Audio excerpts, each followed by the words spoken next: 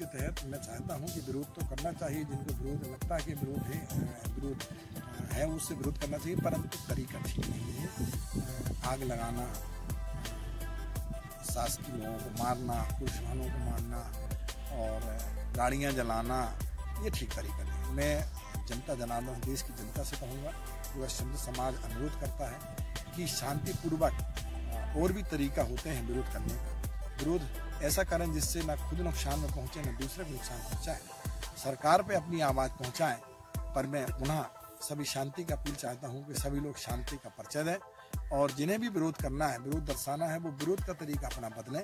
ये आग लगाने से और मारपीट करने से इससे कुछ हल होने वाला नहीं है। इसलिए मैं आपके मीडिया के माध्यम से, आपके चैनल के माध्यम से, मैं सभी देश की जनता को, जनता से अनुरोध करता हूँ पूरा समाज अनुरोध करता है शांति का परिचय दें धैर्य का परिचय दें और विरोध करना है यदि तो विरोध का तरीका अलग है। विरोध का तरीका ये नहीं है कि आप अवै अवै अवैधानिक ढंग से मारपीट करें और आगजनी करें। अच्छा मुस्लिम समाज के लोग जो हैं उनका खास तौर पर कहना है कहीं अन्याय हो रहा है इस कानून के तहत उनके ठीक है वो वो क्या चीज़ है जिनको लगता है तो उन्हें ये तो हर व्यक्ति का स्वतंत्र अधिकार है। चाहे कोई भी धर्म हो, समाज हो, उन्हें यदि विरोध लगता है कि हमारे प्रति अन्याय हो रहा है तो विरोध करना चाहिए।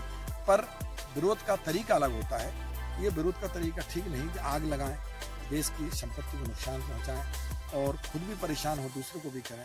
मैं जनता जनार्दन से अनुरोध करूँगा कि शांति का परिचय दें और पहले बात को समझें और विरोध का तरीका बदलें। विरोध का तरीका, विरोध करें और जिसमें सरकार तक अपनी बात पहुंचाएँ पर इस तरीके